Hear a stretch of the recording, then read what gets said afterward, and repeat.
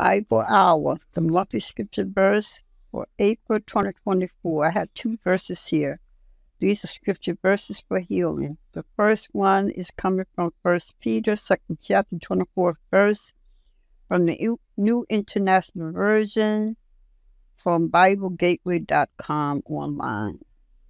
He himself bore our sins in his own body on the cross, so that we might die to sins live for righteousness. By his wounds you have been healed. The next one is from Isaiah 53rd chapter and the fifth verse. But he was wounded for our transgressions, he was bruised for our iniquities. The chastisement of his peace upon us, and by his stripes we are healed. This is from the Old Testament.